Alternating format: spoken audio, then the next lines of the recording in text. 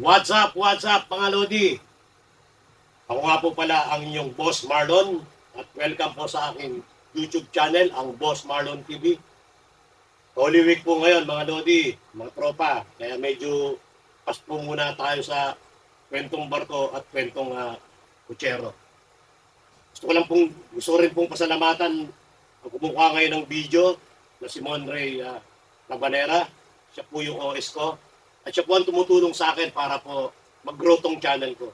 Malapit na po tayo mag 1,000 subs- subscriber, mga Lodi. Ang tawag nga nila, 1,000 subscriber. Pero subscriber po. Kaya thank you po sa mga sumusuporta sa akin, lalong-lalo na po kay sa aking OS, kay Monray. Meron din po siyang ah, YouTube channel, ang Pinoy Box Movie Channel. Lalagay ko po sa description ko. Paki-click na lang din po. Paki-like at paki-subscribe na rin. Yan po yung mga ay yung mga video niya is mga pang Viva Max. Kaya kung gusto niyo magpainit, checkin niyo po yan. So mga Lodi, mga tropa, kung bago ka lang sa akin channel, paki-click po ang subscribe. Kling, kling na ngayon, hindi na ding. Ang like, ting, o ting naman. At ang kalembang ni Mang Max. Kaya mga Lodi, mga tropa, lalo na po sa mga Lodi kong mga kapwa ko marido, panoorin niyo po to, para sa inyo to. Let's rock and roll!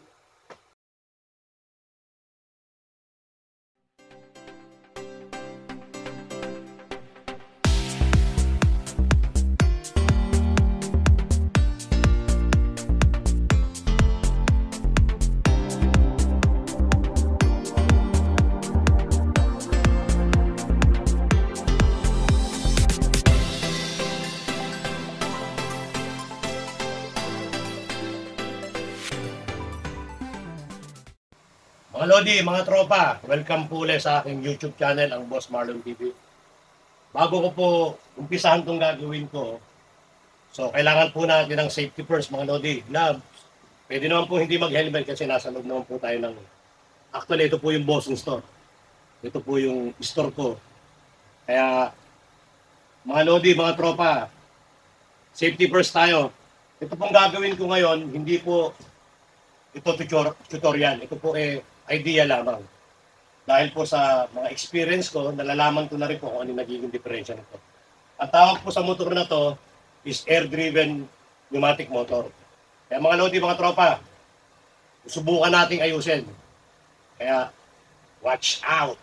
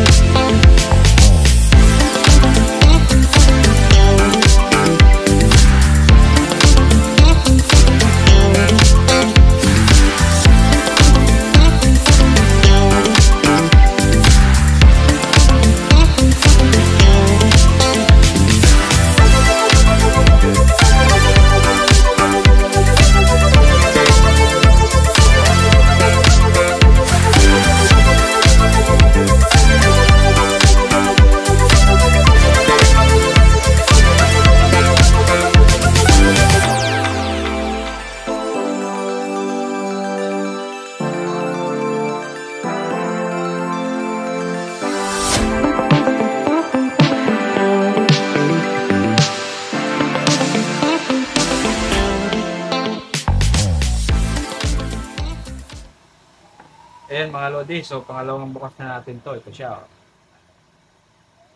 Kita natin to. May na sira dito. Kita nyo naman ah, mga Lodi. So mamaya gagawin natin ulit yan. Kaya tutok ka lang sa channel to. Okay. Ito mga Lodi, kung bakit namin binuksan tong dalawa, itong isa, at itong isa niya sa front. Ito. Ayan. Para mahugot natin tong yung motor niya sa loob. So pag ba, pa, paano siya mahuhugot is dito mo siya Lodi pupukpukin. Alin ba? Ito, yan. So pupukpukin mo yan, lalabas yan dito. So dito mo siya huhugutin.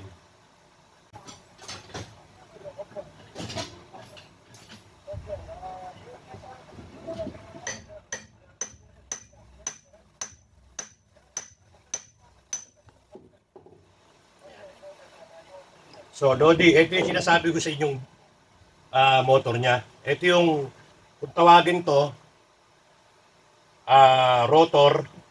Tapos kung tawagin to, yung nakasingit na yan, ayan yung vane. Kumbaga yung parang palikpik niya. Hmm. So, pagka nag, may hangin yan, Lodi, lumalabas yan. Kaya lang ngayon, stuck talaga siya. Stuck. Kaya, ang gagawin natin dyan, ilalabas natin itong mga vane na to, Tanggalin. tatanggalin natin, tapos dapat maglalaro yan. So, lilinisan natin, dahil sa moist ng alat, ng tubig dagat, kaya nai-stuck siya. Kahit Lodi, lagyan mo ng maraming grasa yan, talagang stuck pa rin yan.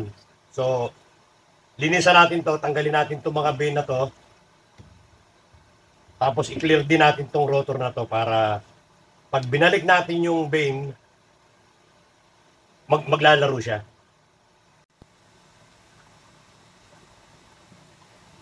Itong mga Lodi talagang stuck siya. Pinukpok na namin siya ng, ng pako para lang lumabas siya. So kahit anong gawin namin ah ah, pasok, talagang ayaw niya lumabas. So ginamitan ko na lang ng screwdriver. So ito, Lodi, papasok mo rito, talagang stuck siya eh. Tapos may itulak mo lang. Ayan. Ito yung sinasabi ko, Lodi, mga Bane. Ito. Dapat yan naglalaro yan sa loob. Maluwag, maluwag yan. Kaya lang talagang stuck siya. So, ayan ang nagiging diferensya niya. Kaya hindi siya umiikot. Ayan.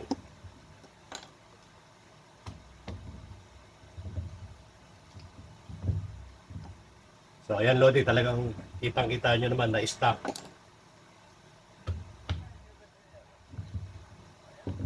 Kaya lang, ingat lang din kayo rito dahil madali lang din siyang maputol.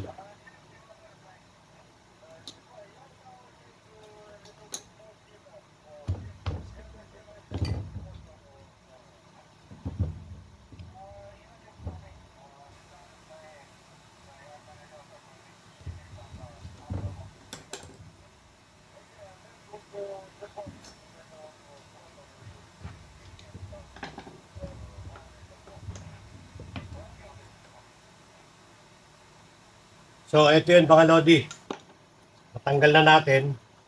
Kaya ang gagawin natin dito para lumuwag siya is ah, titirahin natin ng kikil o kaya ng file. Medyo ninipisan natin ng konti para maglaro uli siya rito. Para pagka tinulak ng hangin is lalabas siya. Kasi ang pinaka ano nito Lodi, pagka lumabas ang pagka may hangin siya, bumubuka yan. Tapos ayun na nagpapaikot sa kanyang ganyan. Bali, ito, ito yung rotor, may cylinder yan dito. So, pagka pinasok, pagka pinasok ng hangin, nakukulob siya, bubuka siya. Dahil dito sa curve na yan. Yan. So, itutulak ng hangin para umangat siyang ganon. Kaya siya umiikot. Ito, Lodi. Ngayon, ninipisan natin to ng konti, itong uh, bay niya. Tapos, etong ah, rotor niya, lilinisan din natin yung loob para ah, maglaro siya. Kasi kalawang din yung loob nito eh. So linisan natin tong loob, lini- natin tong main. Kaya gawin na muna natin. So ito mga lodi, ginamitan ko na lang ng grinder dahil me- medyo makapal siya. Tapos pinantay ko na lang siya ng file, itong tikel.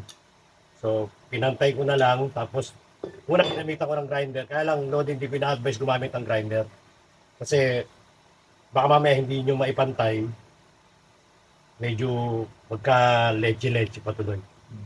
So, Lodi, Lodi, etong niya, niya na to, kanina napansin nyo, hindi natin mahugot. Ngayon, dapat ganito siya. Yan, naglalaro na siya.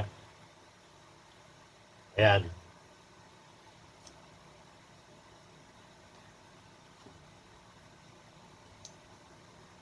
Ayan to mga lodi yan.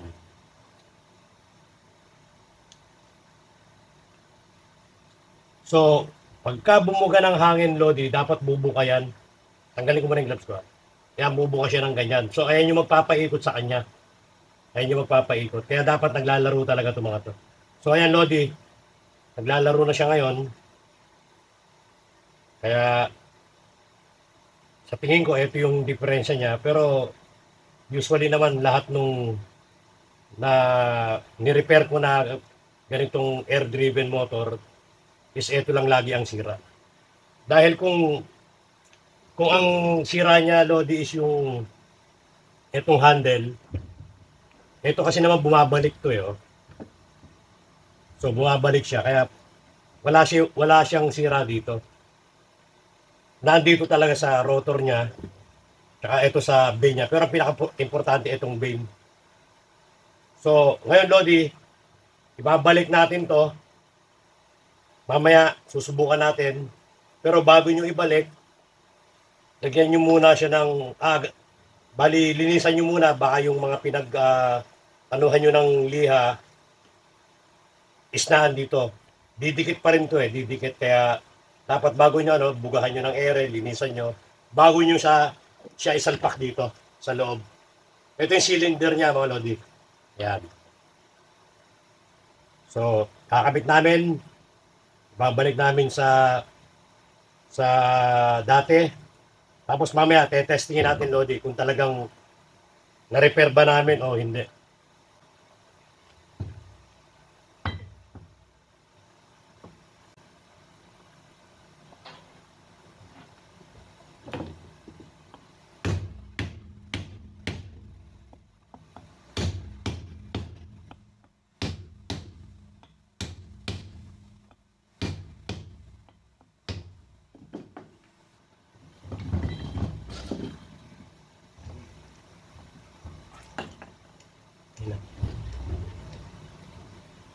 So ayan, Lodi, na ibalik na natin.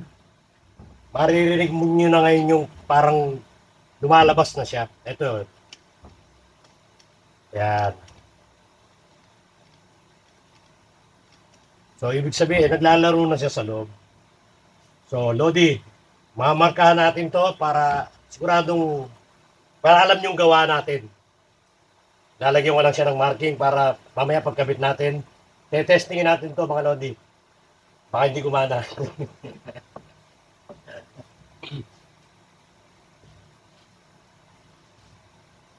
Lalagyan natin ng marking, syempre. Ang paborito niyong Boss Marlon TV.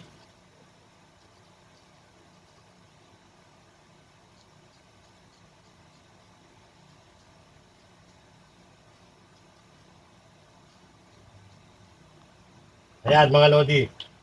Pag kinabit natin yan,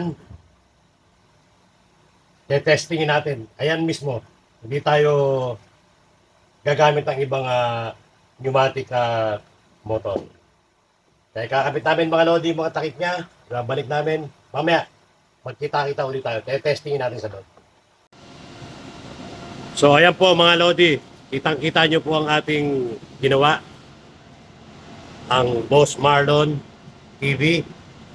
Ngayon po, tetestingin natin yan mga lodi. Hindi po, hindi ko pa po na-testing yan. Ngayon pa lang po namin ikakabit yan. So sana po gumana dahil kung hindi, hindi ko rin po ibibideo to. yan po ang ating tumutulong sa aking channel. Si OS Monray Rapanera. Suportahan na rin po ang, natin ang kanyang channel. So yan po mga Lodi. Ito pong ginawa ko, hindi po to tutorial. Ayoko po ng tutorial. Idea lang po to. Dahil ah, hindi naman po ako eksperto para gumawa ng ganito. Dahil lang po sa experience ko, nakikita ko po yung mga pwede kong gawin. At least magagamit namin. Yan po, mga Lodi. Yung ere nakabukas na, So, te-testingin na natin mga Lodi. Sana gumana. Ayan po.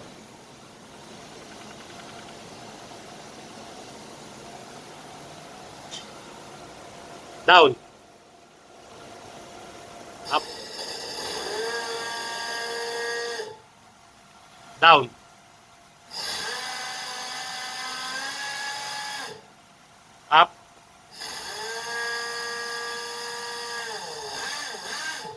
Down. Yan. Okay, so gumana po mga Lodi. So effective po yung ginawa natin kanina. So mga Lodi, sana nagkaroon po kayo ng konting idea sa ginawa namin. Pwede po natin i-apply yun pagka naka, nagkaroon tayo ng ganong ah, trouble sa pneumatic ah, motor. Sa David lang po, sa David po ginagawa yun. Yung iba po sa mga capstan, depende po kung saan nakalagay yung motor na yun. Yung ginawa po namin is idea ko lang po. Hindi ko po sinasabing eksperto o hindi po yun. Para po sa atin yun, ito po yung purpose ng video ko. Para po kahit pa paano ma-share ko yung nalalaman ko. Hanggang sa muli mga Lodi, abangan nyo po yung susunod na mga vlog ko. More on, dito muna tayo sa barko. Dahil po maraming nagre-request nito kung ano yung mga ah, ginagawa namin sa barko, kung ano yung trabaho ng boson. I-share ko po yan para po, para po sa ating lahat. So, see you next time mga Lodi. Thank you. Ingat. Safety first.